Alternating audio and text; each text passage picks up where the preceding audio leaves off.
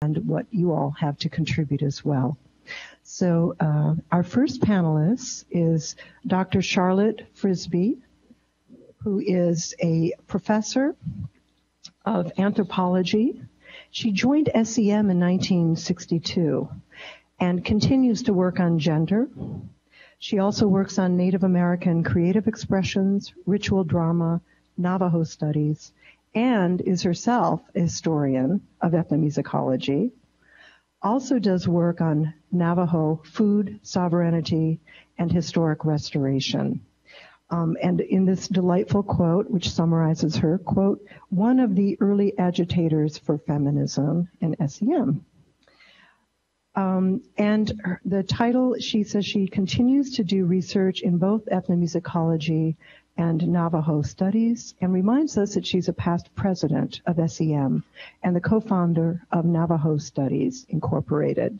The title of her presentation is Back in the Day, Reflections from and other.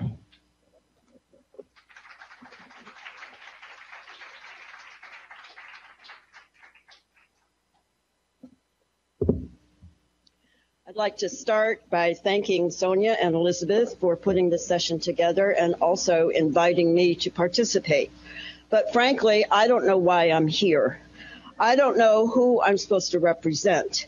Uh, maybe I was because I was in grad school program in the 60s. Maybe I'm the oldest on this group of four. Maybe we needed an Anglo-Saxon white girl, uh, Protestant, to be on the panel. Um, or maybe it's just because I'm an other. And I'm an other in the sense that by choice, I got my PhD in anthropology. So you pick your reason and, you know, I'm here. I said yes. so here I am. Reflecting on questions that Sonia caused us to think about made me think about my childhood. I grew up in Connecticut as a middle child between an older brother and a younger sister. My dad was an electrical engineer and my mom was a music teacher who then retired to become a stay-at-home mom. We lived in a small, lower middle class town with a very heavy Italian population. Because our high school had a very low graduation rate and almost nobody went to college. My parents decided early on that all three of us were going to be sent to boarding school. What I now view as my first major awareness of being an other came when I went away. Yes, it was based on class and socioeconomic differences. I had never heard of a debutante ball. I had never heard of summering in the Hamptons uh, or needing to wear specific brands of clothes and shoes, including underwear. So it was a very rude awakening. But by the time I graduated, I was more than educated about class systems in the United States. In college, where I was a music honors student, I had to give a recital and write a thesis. In those days, the only careers I was told about were those that uh, you could teach Western European music history or you could be a music librarian. Neither of those appealed to me.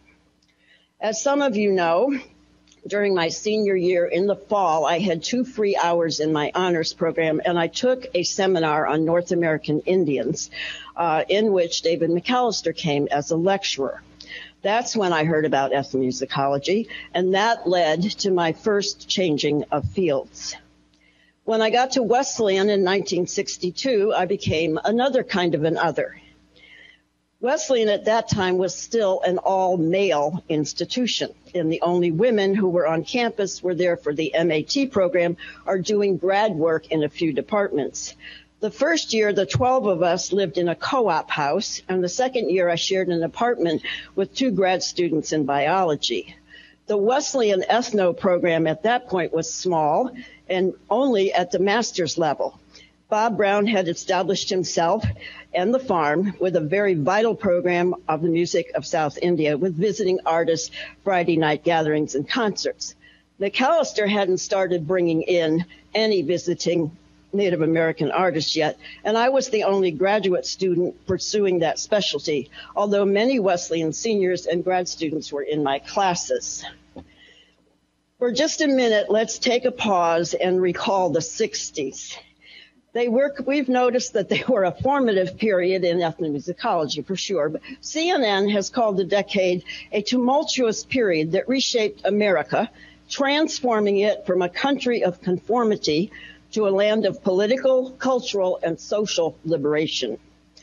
To just use a few buzzwords, Initially, the country was in its golden age with JFK as president, but awareness of racial injustices and widespread poverty was increasing, eventually leading to the Equal Pay Act of 1963, the Civil Rights Act of 1964, the Selma to Montgomery March and the Voting Rights Act of 1965, and LBJ's Great Society.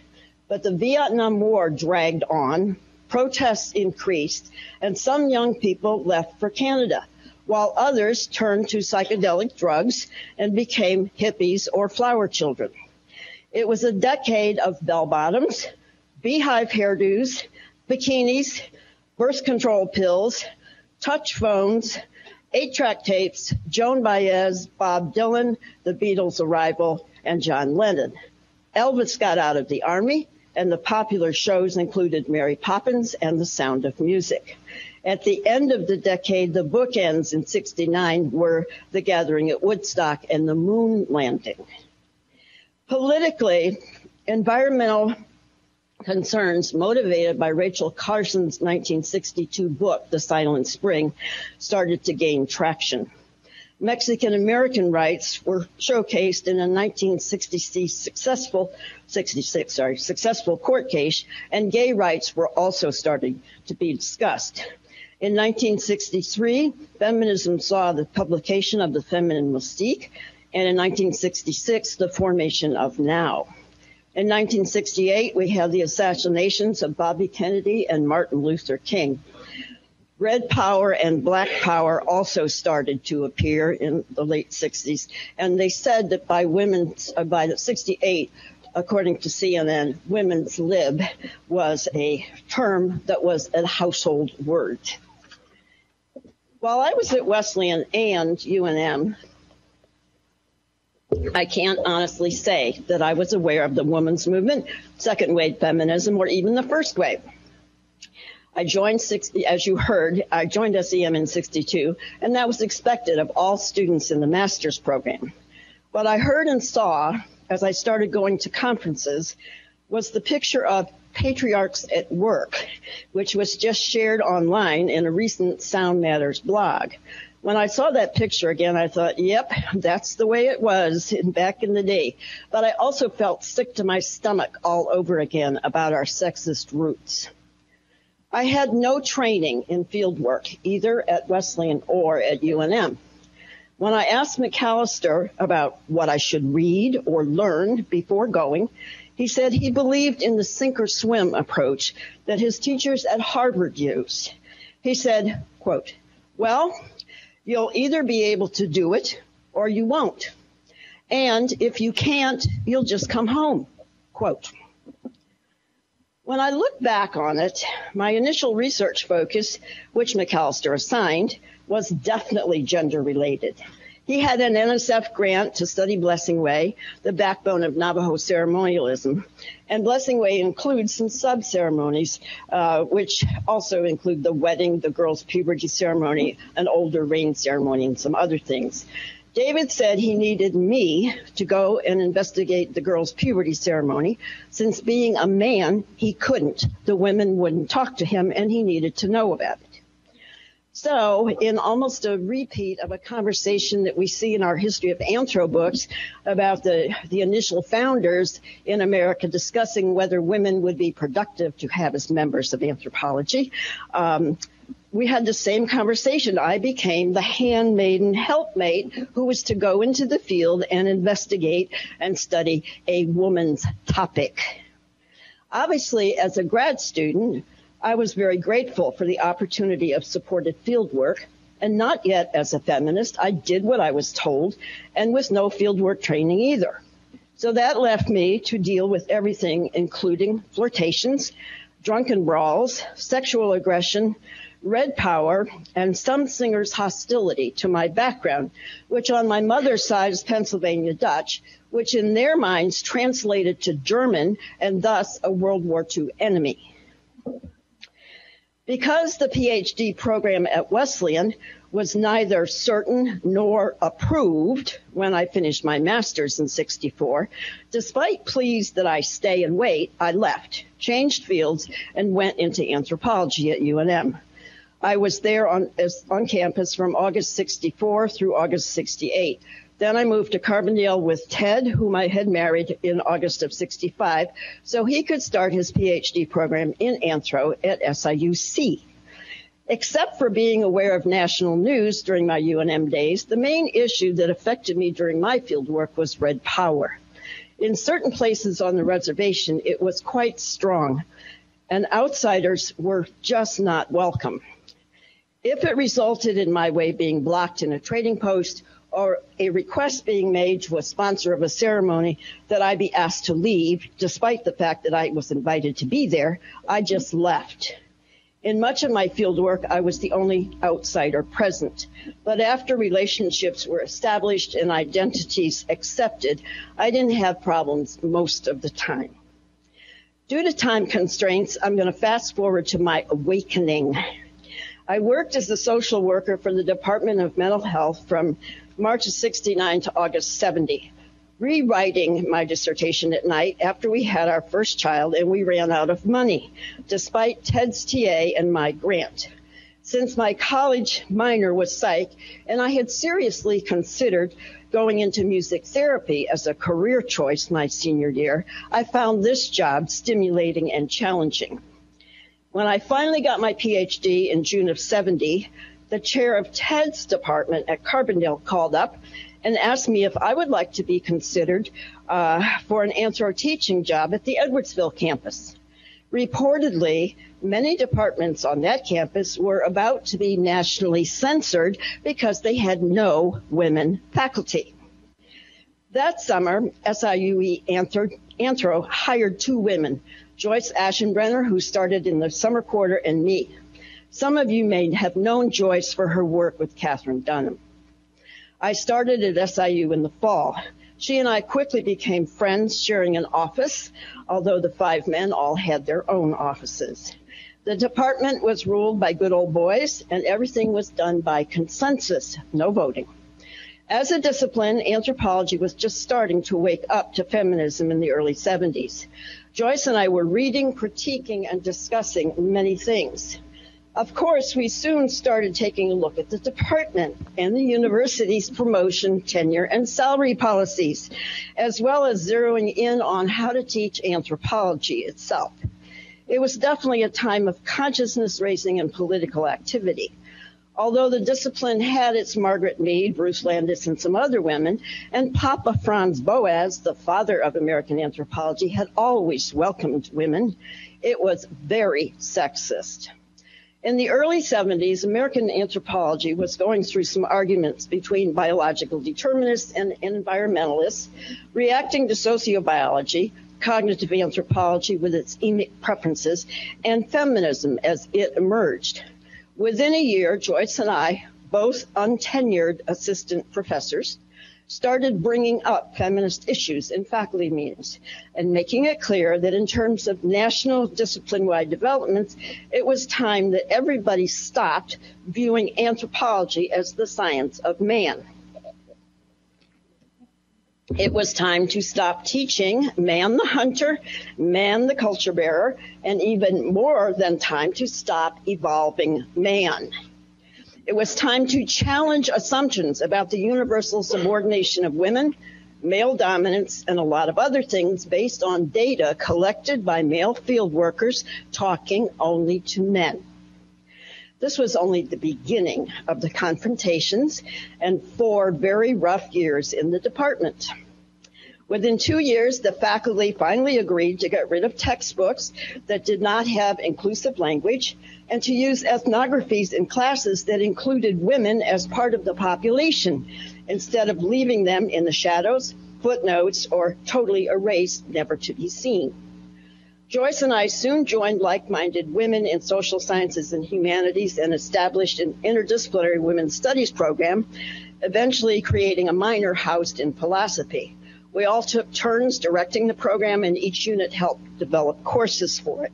She and I both directed readings in feminism and added feminist works to our own classes as they became available. I wrote some things for a colleague's textbook on feminism and added a unit on sexism in language to my own language and culture class. Both Joyce and I participated in symposium at SIUE and schools in the Metro East. This is also the time when we added our ethnographic field school classes. Awakening as a feminist, of course, meant revising some things on the home front and renegotiating issues like workloads and parenting responsibilities. In June of 72, I had our second daughter. In those days, SIU would not, and I mean not, hold your job if you left to have a baby. I was in spot number one at that point for rotational summer teaching, and so only Ted and Joyce knew that I was pregnant. Very luckily, the second time around, I didn't show at all. And because I wanted my job, I decided I wouldn't teach in the summer, but instead take time off and return to teaching in the fall. When I turned down the highly coveted summer full-time teaching job during a spring faculty meeting, there was a gasp and silence. Everybody just looked at me and I said, well, it was for personal reasons. And as soon as the meeting was over, I was called into the chair's office to explain myself. That's when I heard for the second time in my career that this is exactly why we don't like to hire women. All you guys do is go off and have babies and then you quit. I said nobody was quitting. While all these fun and games were going on at work, in 1972, I helped found the Midwest chapter of SEM, and with the March April issue, became editor of the newsletter for four years. That job opened my eyes about lots of things in SEM, and as I worked through concerns in anthropology, I started wondering why we weren't also addressing them in ethnomusicology. In 1979, I was elected for the first time to serve on the board of directors as secretary. In the 1980s, I was busy wearing multiple hats, chairing the department, writing grants.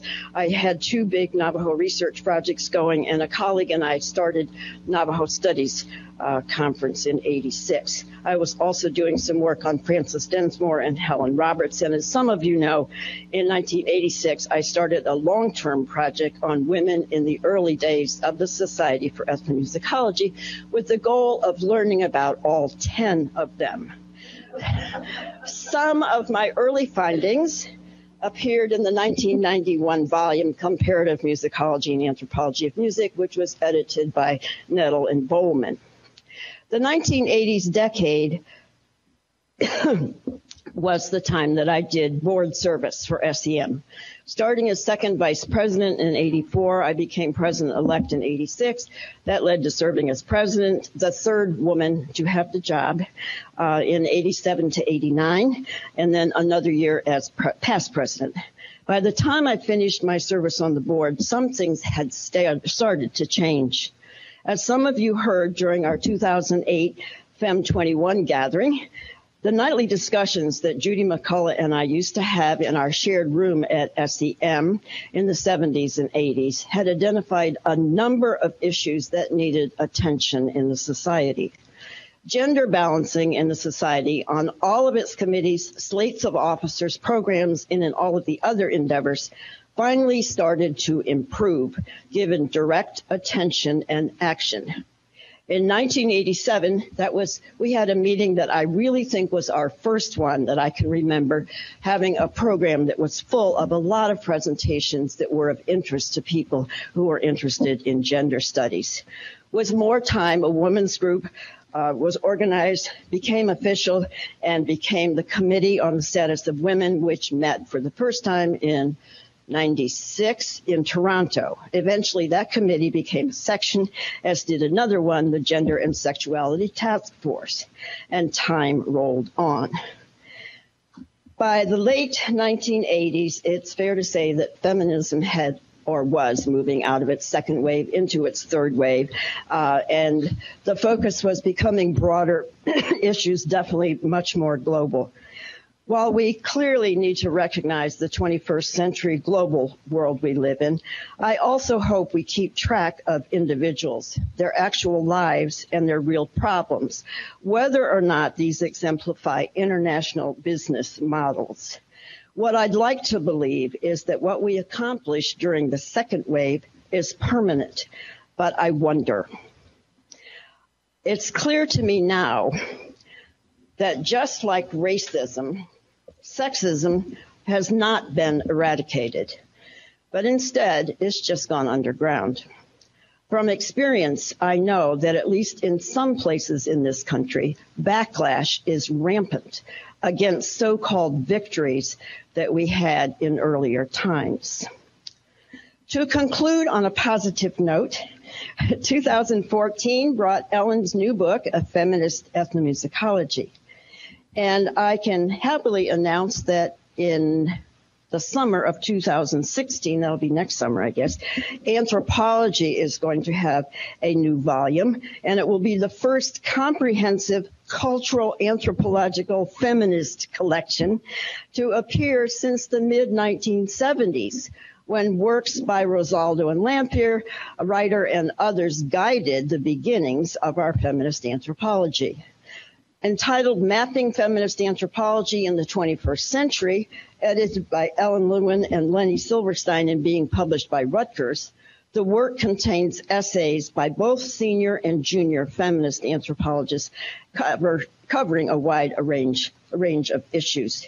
I am sure that this rich volume will be of interest to all of us, no matter who we are or what hats we're wearing.